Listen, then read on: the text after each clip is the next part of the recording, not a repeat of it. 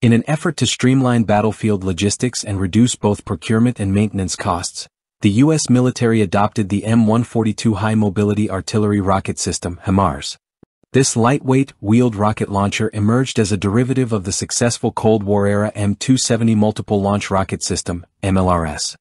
By evolving the M270's proven design into a more mobile and cost-effective platform, HIMARS has become a key asset for the U.S. military and other allied forces, enhancing artillery capabilities with impressive range and precision. The M270 MLRS, which debuted in 1983, was a highly effective tracked system, capable of launching variable warhead munitions up to 40 miles away.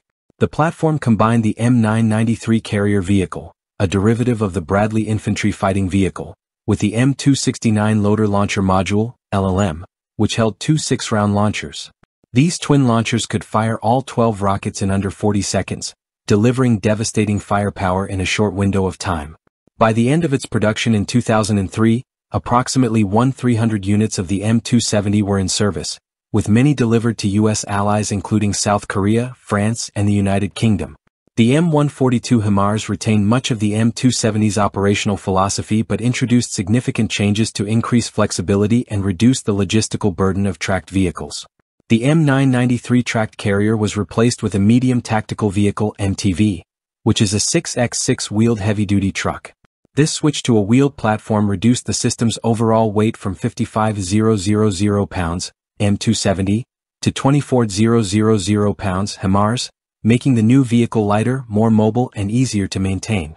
The M142 carries a six-round launcher module, half the payload of the M270 but with equal lethality. Dimensions of the M142 HIMARS include a length of 23 feet, a width of 10.5 feet, and a height of 10.5 feet, allowing the system to be airlifted by transport aircraft like the Lockheed C-130 Hercules. The wheeled platform grants road speeds of up to 53 miles per hour with an operational range of 300 miles.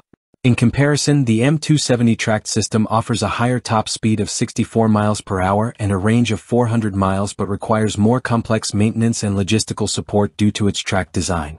The HIMARS mobility relies on the Medium Tactical Vehicle MTV, a rugged military truck originally based on the Austrian Steyr 12 M18. The MTV forms part of the U.S. Army's family of medium tactical vehicles, FMTVs, and was introduced to replace the aging M35 and M939 truck fleets. The truck features six-wheel drive and is powered by a diesel engine, which can be easily maintained with off-the-shelf components. The forward crew cabin seats the driver, while the rear is dedicated to the rocket launcher system, ensuring HIMARS can deliver firepower quickly and relocate before retaliation. Produced initially by BAE Systems Land and Armaments, manufacturing of the MTV platform for HIMARS shifted to the Oshkosh Corporation in 2011. The launcher module and rockets for the system are manufactured by Lockheed Martin Missiles and Fire Control. HIMARS can be equipped with either six 227mm rockets, the same munitions used in the M270, or a single, more powerful MGM-140 Army Tactical Missile System, ATACMS. One of the key benefits of HIMARS is its reduced complexity compared to tracked systems. The shift to a wheeled platform allowed for a lighter and more agile vehicle, while still retaining the firepower and range necessary for modern battlefield engagements. However, unlike the armored M270, the M142 HIMARS features only light armor for the crew cabin, focusing on speed and mobility over heavy protection. The use of wheeled carriers also reduces the logistical burden, as maintenance and repairs can be carried out with common parts available for military trucks, rather than specialized components needed for tracked vehicles.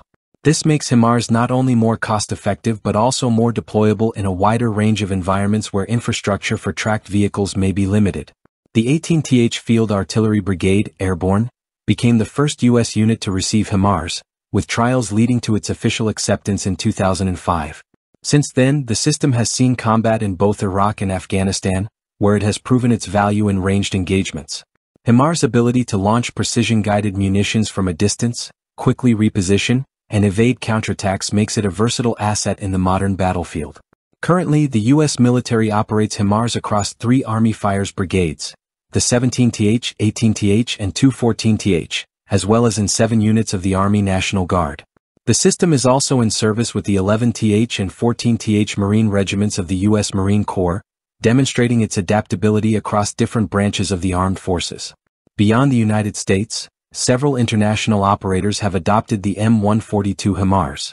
Singapore operates 18 units, the United Arab Emirates has procured 20 units, and Jordan maintains a fleet of 12 units. Other nations, including Canada, Qatar, Thailand, and the United Kingdom, have expressed interest in the system, though formal procurement has not yet occurred as of 2014.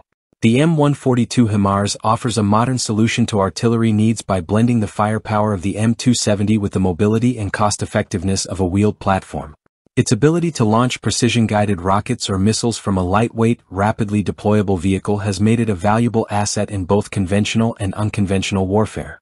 With its proven combat record and growing list of international operators, HIMARS continues to be a key player in the evolution of modern artillery systems, providing flexibility, range, and lethal precision.